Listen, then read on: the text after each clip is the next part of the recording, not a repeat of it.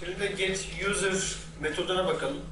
Get user'da bizim normal kullandığımız yöntemlere göre aynı şekilde ID alıp bunun kullanıcısını getiren bir e, metot ve içeride iki farklı şekilde kullanım yaptım.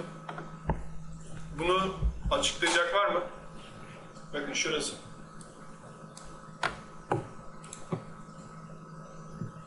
Neydi bunlar? Bir tanesi e, yukarıdaki lambda expression, bu da link expression olarak geçiyor. İki şekilde de kullanabiliyoruz.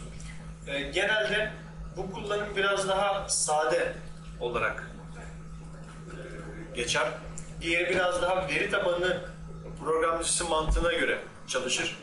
Yani veri tabanı programcılarını biraz daha Linku'ya yönlendirmek, daha kolay çalışabilmelerini sağlamak için diyebilirim.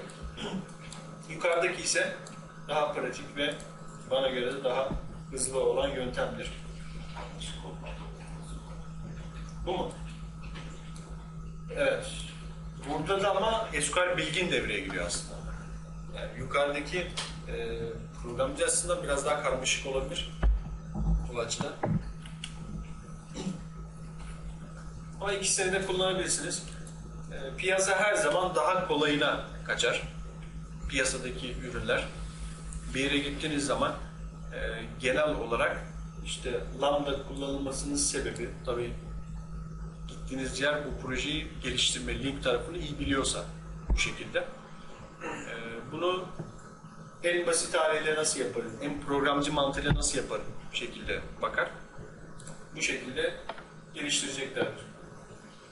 E, isValid User'da da kullanıcı adı ve password alıyoruz ve bunu işleme tabi tutuyoruz.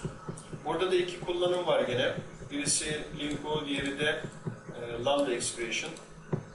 Aynı mantıkla çalışıyor. E, veri tabanında bu bilgileri sahip kullanıcı var mı yok mu ona bakıyor.